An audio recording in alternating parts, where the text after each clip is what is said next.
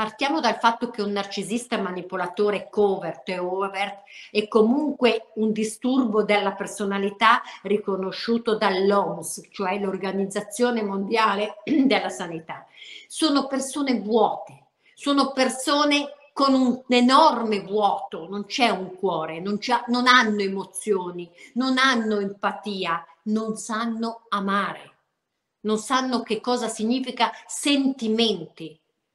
Perciò non è che non vogliono, non sanno, non gli interessa e fingono invece di provare amore, fingono di provare interesse per te, ma non lo provano. Maria, mentre stanno parlando d'amore a te, lo stanno scrivendo a un'altra, a un'altra ancora e a un'altra ancora. Mentre sono nel letto con te e tu praticamente magari ti addormenti, prendono il telefono e scrivono ad un'altra. Non sanno amare, sono un eterno contenitore vuoto. Perciò bisogna imparare a vederli esattamente per quello che sono, il vuoto assoluto.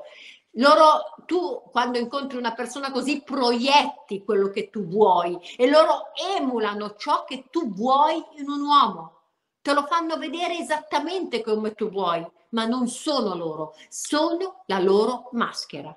Quando fanno, ti dichiarano amore, non sono loro, sono una maschera che hanno costruito maschere su maschere. La loro vera natura esce, esce quando tu sei nella trappola, quando si godono nello svalutarti, nel triangolarti, nel portarti veramente all'esasperazione e godono quando tu gli chiedi per favore dammi una risposta. Quando piangi, quando ti inginocchi, Ecco, questo è il loro massimo godimento. L'unica emozione che sanno che hanno è quella di vedervi a terra. Ecco, lì sono felici.